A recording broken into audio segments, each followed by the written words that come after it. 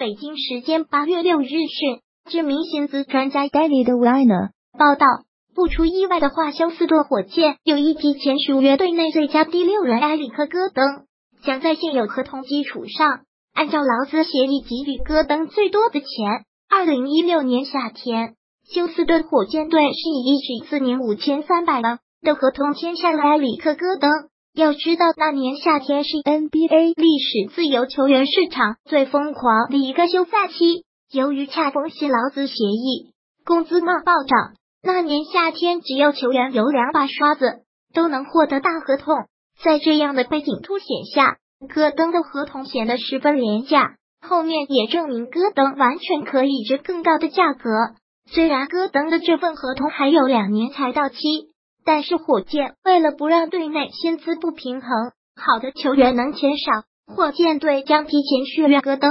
而根据劳资协议，在现在剩余的两年两千七百六十万美元的基础上，火箭最多可再向戈登提供一份三年将近五千四百七十万美元的新合约，也就是总计约五年八千二百三十万美元。这样，戈登的平均年薪将涨。到约一千六百四十六万美元。值得注意的是，当年火箭也用这样的方式续约了哈登。二零一六年四年八千万美元引进安德森后，安德森一度是队内最高薪，力压球队老大哈登的军薪一千七百万美元。火箭一看这是不对，立马在原有合同基础上四年一点一八亿美元续约哈登，让哈登顺理成章成为球队薪资老大。而一去年夏天，保罗到来后，薪资总额又超过了哈登。火箭立马在四年一点一八亿美元的基础上，又以四年一点七亿美元续约哈登。可以说，火箭管理层还是很有良心的。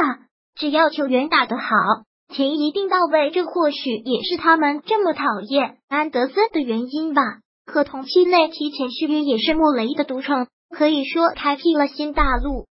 而今夏火箭已经四年一点六亿美元续约保罗，五年九千万美元续约卡佩拉，这两笔续约火箭球迷都不买账，尤其是保罗的合同，几乎百分之九十九的球迷都很不满，而戈登的续约合同却有百分之一百的球迷都认同，因为在球迷看来，戈登任劳任怨，拿军薪一千六百四十六万美元是应该的。